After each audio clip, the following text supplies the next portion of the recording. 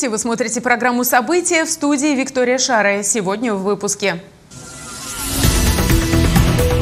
Граждане, которые состоят в запасе, и все, кто проходил службу в рядах вооруженных сил. Президент Владимир Путин подписал указ о частичной мобилизации в России. 57 километров дорожного полотна обновили в Самаре по национальному проекту «Безопасные качественные дороги». В столице региона завершился сезон ремонта дорог. Привели в порядок прибрежную зону и очистили от мусора пляж. На острове Проран прошла всемирная экологическая акция «Мы чистим мир». Учитель биологии одного из самарских лицеев в полуфинале конкурса «Классная тема». Как удалось попасть в проект и когда ждать победы. Президент России Владимир Путин подписал указ о частичной мобилизации в России. Мобилизационные мероприятия начнутся с 21 сентября.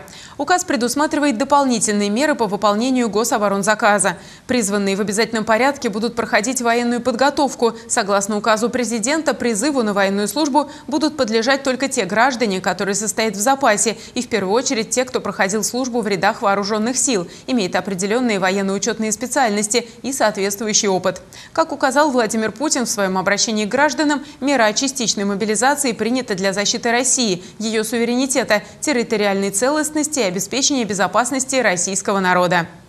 Поручаю главам регионов оказать все необходимое содействие работе военных комиссариатов. Особо подчеркну, что граждане России, призванные на военную службу по мобилизации – получат статус выплаты и все социальные гарантии военнослужащих, проходящих военную службу по контракту. Добавлю, что указ о частичной мобилизации также предусматривает дополнительные меры по выполнению государственного оборонного заказа.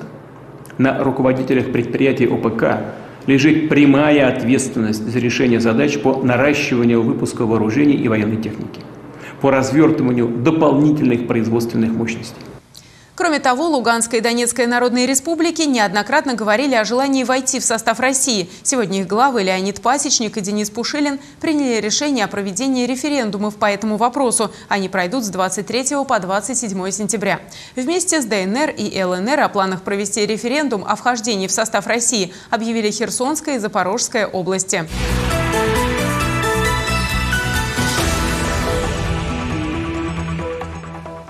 В Самаре завершился сезон ремонта дорог и стартовала подготовка к следующему дорожно-отопительному сезону. Уже определены подрядчики, которые в 2023 году приступят к обновлению объектов уличной дорожной сети по нацпроекту «Безопасные и качественные дороги». Работы начнутся весной, как только установятся постоянные среднесуточные положительные температуры воздуха. О том, сколько объектов планируется привести в порядок, расскажет Светлана Тимофеева. Житель Самары Геннадий Русулов трудится водителем более 35 лет. Мужчина признает, сегодня передвигаться по дорогам областного центра стало гораздо комфортнее. То, что было раньше, то, что сейчас, это небо и земля. Стараются все-таки прислушиваются к нашему мнению. И не то, что на тротуаре он делает вот, а и дороги старается делать. Так что молодцы. Ремонт объектов на средства нацпроекта «Безопасные качественные дороги» в текущем году в Самаре завершился. Все работы приняты, замечаний к подрядчикам нет. Всего в этом году в рамках нацпроекта было отремонтировано 38 участков общей протяженностью более 57 километров, включая обновленные сверхплана. Власти города уже определили, какие дороги будут ремонтировать в будущем году. Будет отремонтировано 41 участок автомобильной дороги протяженностью 45 километров. А, на сегодняшний день все конкурсные процедуры у нас прошли. Муниципальные контракты заключены. Это позволит подрядным организациям за зимний период подготовиться, закупить необходимый материал, оборудование. Предусмотрено применение новых материалов и современных технологий, что является одним из важнейших условий реализации дорожного нацпроекта. Например, в будущем году на дорогах, где будет идти ремонт, впервые установят антишумные и антивандальные люки смотровых колодцев. Они будут с прорезиненным покрытием. К этому решению пришли по просьбе жителей и ресурсоснабжающих организаций. Люди жаловались на воровство. К тому же со временем, после долгого срока эксплуатации, крышки люков начинают греметь. Антивандальные вот люки, они имеют специальный внутренний замок, э, они заклеваются на специальный вот ключ, поэтому открыть просто так обывателю его не получится. это позволит нам снизить риск их кражи, а также уйдем от проблемы, когда жители нам жалуются на происшествия вот времени на шум от этих люков. Гарантия на новые люки – 5 лет. Кроме того, специалисты сообщили, что на следующий год участки автодорог отремонтируют методом больших карт по всей ширине проезжей части с применением современных высокопрочных асфальтобетонных смесей. Помимо этого, городские власти включили в план работ обновление межрельсового пространства, замену бортовых камней там, где это необходимо, а также ремонт тротуаров. Например, такие виды работ предусмотрели на проспекте Ленина, улицах Пензенская, Коммунистическая, проспекте Масленникова. Горького. Мне бы хотелось, чтобы не только проезжая часть ремонтировалась, но и не забывали про тротуары. В этой зоне находятся магазины различные, вот по Мичурину туда вниз и выше. Здесь находятся и аптеки в большом количестве, то есть э, развязка э, автомобильная, ну, автобусной остановки. Поэтому здесь проходимость людей очень большая. Хотелось бы облегчить людям жизнь, сделать пребывание в этой зоне более-менее комфортным. Ремонт дорожного полотна будет вестись во всех районах областного центра, включая отдаленные. Будут учитываться обращения граждан и предписания ГИБДД, а также взаимодействие с УНФ и другими общественниками. Специалисты проведут мониторинг состояния объектов, автодорожного покрытия и других элементов улично-дорожной сети, в том числе на прилегающих к дороге территории. К работам подрядчики приступят, как только позволит погода, после схода снега и с наступлением стабильных положительных температур воздуха. Как правило, масштабная ремонтная кампания стартует с начала апреля. Соединить отдаленные районы города с его историческим центром и существенно до 20-25 минут сократить время в пути, которое сейчас тратят горожане, добираясь, например, с Безымянки и Юнгородка.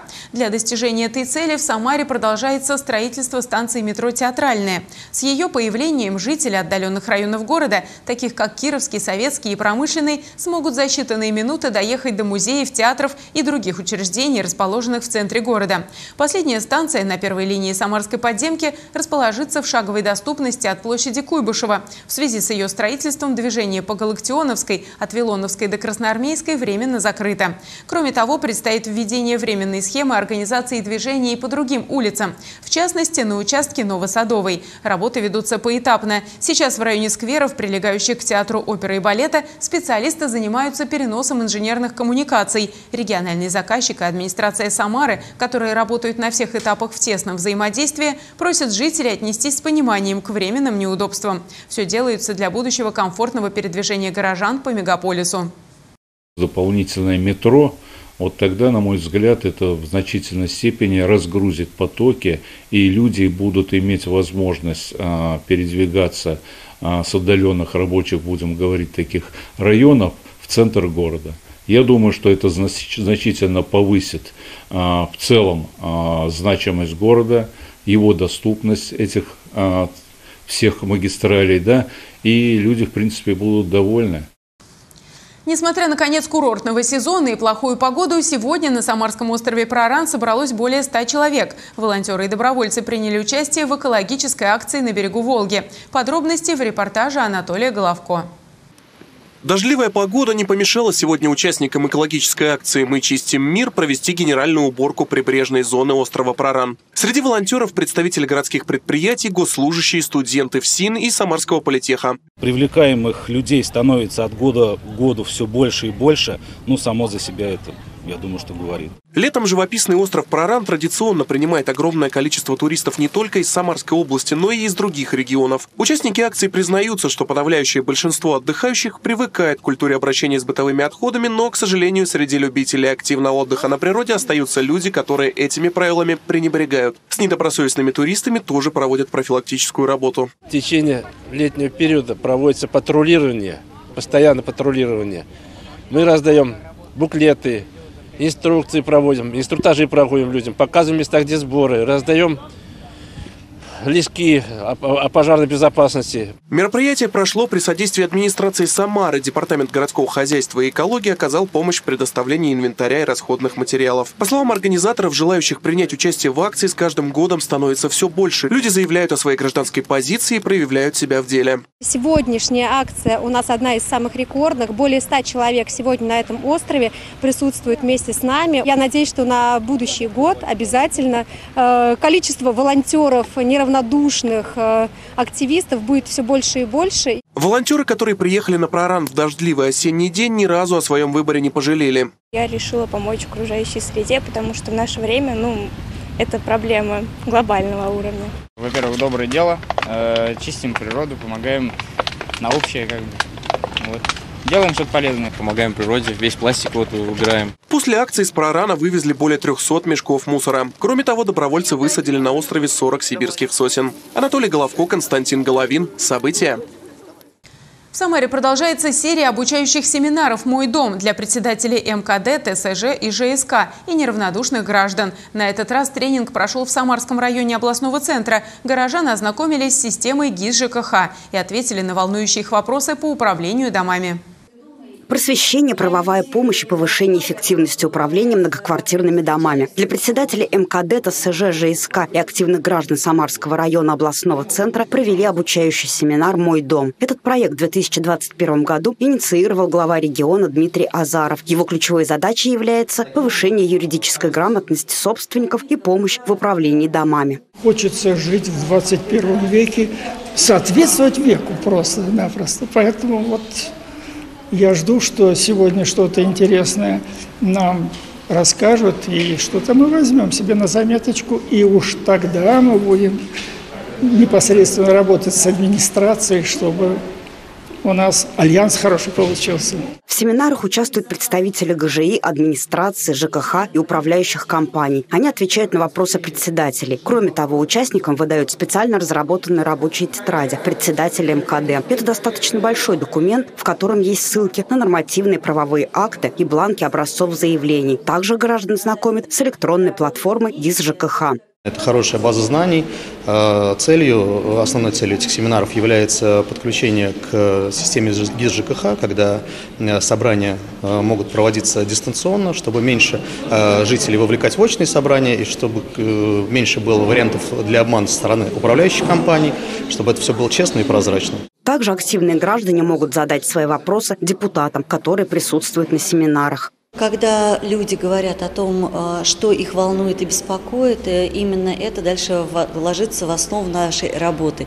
Как появился закон о тишине. После того, как жители начали обращаться и жаловаться э, то на вывоз мусора, то на работу строителей и ремонтные работы, после этого потребовалось внесение корректив для того, чтобы определить то время, когда маленькие дети отдыхают днем, например. В Самарском районе областного центра 1487 многоквартирных домов. Из них около 150 многоэтажных, в которых есть свои председатели МКД. Освоить новую программу им помогают в ресурсных центрах. В Самарском районе их два. Они расположены по следующим адресам. Некрасовская, 62 и Фрунзе, 67, дробь 69. Кроме того, в Самаре продолжает работу бесплатный многоканальный телефон горячей линии регионального центра поддержки председателей МКД. Его номер 8 800 55 55 263. По нему все желающие могут получить консультацию, а также записаться на обучающий семинар. Светлана Тимофеева, Григорий Плешаков. События.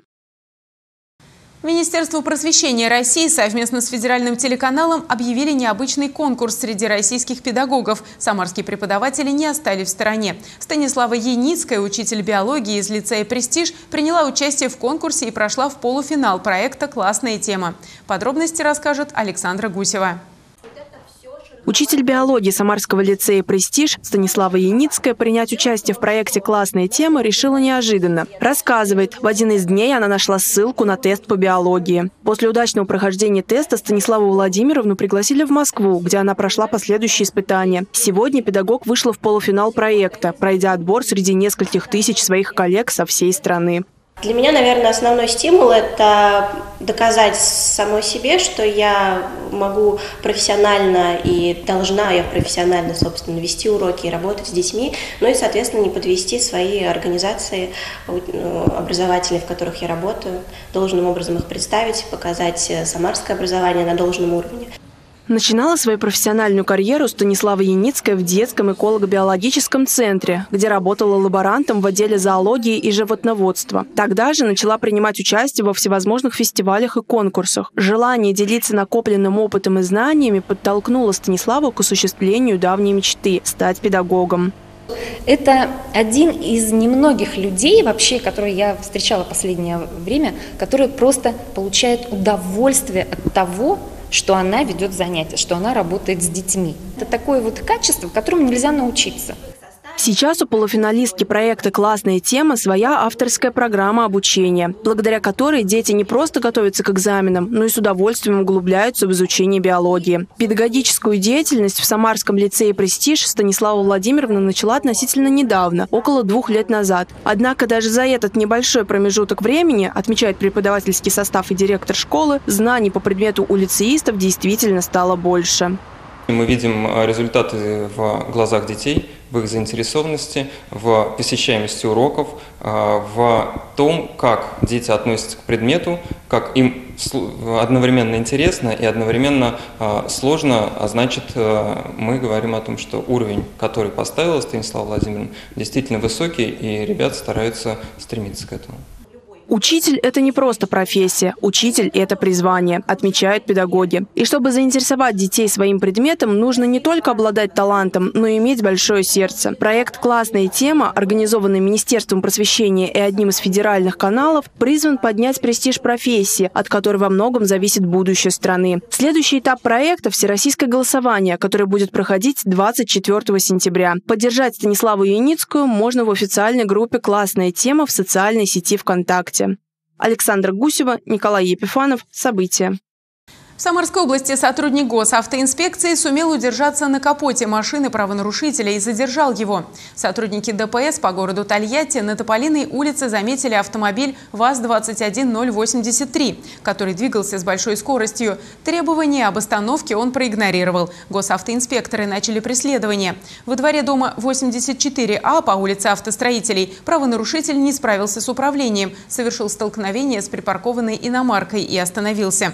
В тот момент, когда к машине подбежал полицейский, она резко тронулась с места. Инспектор оказался на капоте и сумел удержаться на нем в то время, когда злоумышленник, набрав скорость, начал резко маневрировать. Проехав почти километр, автомашина ВАЗ врезалась в еще одну припаркованную машину, после чего нарушитель был задержан, сообщила официальный представитель МВД России Ирина Волк. Как установили полицейские, за рулем находился житель города Тольятти 2003 года рождения, который не имел права управлять транспортным средством. В отношении него составлены протоколы об административных правонарушениях. В результате неадекватных действий правонарушителя сотрудник полиции получил сотрясение головного мозга и закрытую черепно-мозговую травму. Собранные материалы направлены в Следственный комитет для принятия процессуального решения. Далее коротко о других темах дня. Банки Казахстана и Вьетнама приостановили прием карт МИР. С российской платежной системой они перестали работать вслед за банками Турции. 21 сентября обслуживание карт МИР также приостановила Армения. По данным СМИ страны, у держателей карт не получается обналичить суммы в банкоматах. В Центробанке Армении объяснили, что коммерческие кредитные организации самостоятельно примут решение на фоне сообщений о санкциях. В Центральной России наступление заморозков наиболее вероятно в первых числах октября. Об этом сообщили ведущие специалисты одного из метеоцентров. Обычно холодам способствует приход антициклона. По словам экспертов, температура воздуха должна понизиться до отрицательных значений в тихую и безоблачную погоду, а не в дождливую и ветреную. В прошлые годы заморозки в центральных регионах России наступали до начала октября. Самая минимальная температура, минус полтора градуса, была зафиксирована в 1930 году. В России предложили поддерживать развитие альтернативных продуктов из растительного белка. По мнению главы Минпромторга Дениса Мантурова, потребители осторожно относятся к продуктам, где вместо животного белка используется растительное сырье. Ранее эксперт рынка национальной технологической инициативы Андрей Зюзин заявил, что жители России в ближайшие десятилетия откажутся от животного мяса. По мнению эксперта, люди сделают выбор в пользу растительного и клеточного мяса из-за его низкой стоимости. Разработчиков ПО, входящего в реестр отечественного софта, могут обязать адаптировать свои продукты под российские операционные системы на базе Linux. Сейчас большая часть софта аккредитованных разработчиков базируется только на Windows. Как утверждают участники рынка, для адаптации многие продукты придется фактически создавать с нуля, привлекая специалистов по Linux, которых может просто не хватить. Поэтому требование должно вводиться поэтапно для различных классов ПО, считают эксперты. В случае их невыполнения разработчика могут исключить из официального реестра.